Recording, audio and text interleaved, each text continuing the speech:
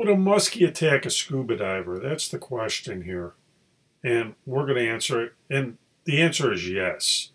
Now, I've been diving with muskies for 15 years, trying to photograph them, know how to get in close to them, approach it, get a good encounter with the fish. But there is always the chance that the muskie, it's a wild animal, there's a chance that the muskie will not be very cooperative with me.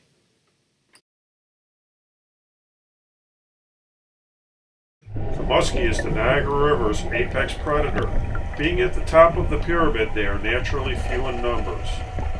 Some divers have dove the river several times, but have never seen or only gotten a quick glimpse of this magnificent predator. Solid conservation efforts by the New York State Department of Environmental Conservation, Ontario Ministry of Natural Resources, Muskies Canada, and the Niagara Muskie Association have helped to maintain this urban fishery. On July 4th, we were blessed with beautiful visibility, 30 feet in a river that usually averages 12 foot visibility. Now, have no doubt that we go looking for muskies when we go diving. They're my favorite fish to film. All the guys like seeing them that I dive with, and we try to get out into the prime water and look for muskies. We also try to get close to the fish and get great shots. We're filming with a standard GoPro, like this GoPro 5 right here is what I'm using. And we try to get in there and get the shot and to get a good shot, a shot that I like, I'm generally within one to six feet of the fish. That's that's what I strive for.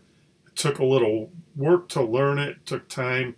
There wasn't really any book. I don't know anybody else doing this. We had to figure out how to approach the fish, what they would accept from us, and what we needed to do to get that close.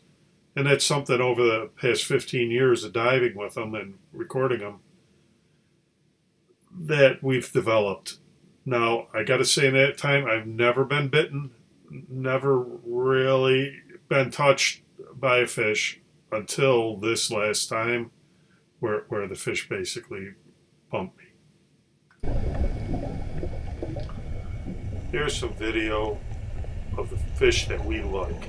Now, these fish came right in. What a beautiful fish right there. It's a nice, nice muskie.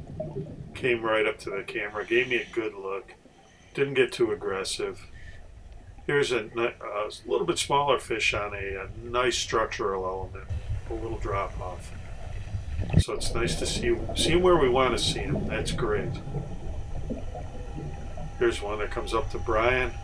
He's got the GoPro going comes up gives him a nice look. These are the kind of things we try to do. Here's another fish. This fish is, uh, we saw him several times this day. I can tell by the blotch on his side. Here's a pair that give Brian a good look. Again, two really nice fish. Great conditions. Good deal. You're going to see this one fish come back and uh, try to go high on Brian, give him a little bit of attitude. But again, didn't get real close, got within a couple feet, just what you want. Right. Here's a big old fish coming in. Little scarring on it, gives it a little character.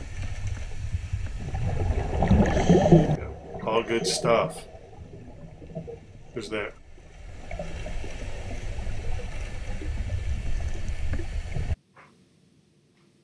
what you're going to see right here is not going to be gore or anything real bloody. I'm sorry to disappoint some of you. It's not going to be like some of the shots you see on the internet where somebody was dangling their foot off a dock and the muskie mistook that foot for a wounded fish or a bird. This shot is of a, muskie that is clearly going to take an aggressive posture, run towards me unprovoked, and give me a little bump. That's all it's going to be. Before you ask, I'm going to tell you that this fish is about three foot, maybe a little longer, 36 to 40 inches. Not the biggest fish in the river, not too shabby.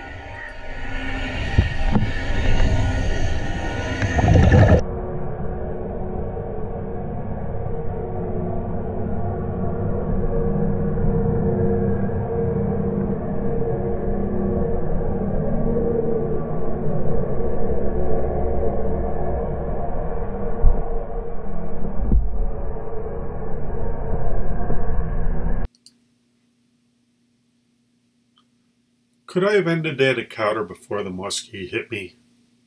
Absolutely. I could have exhaled sharply into my regulator. The exhaust bubbles tend to scare the fish away.